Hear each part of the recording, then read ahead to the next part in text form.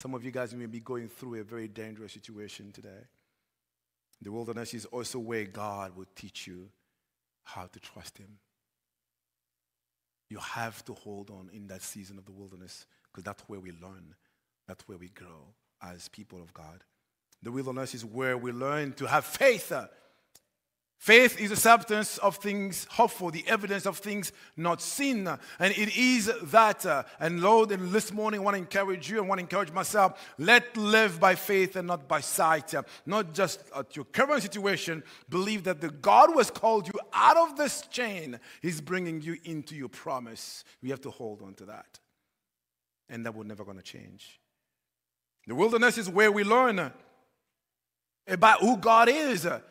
Can you, can you just believe you're walking in front of a body of water and that thing by a little pointing of the stick and bang and the water opens up? Can you just believe that how God can do this? You are witnessing the hand of God, and nobody can tell me right now that you have not witnessed the hand of God in your life. We all have. We just have not seen it yet, maybe.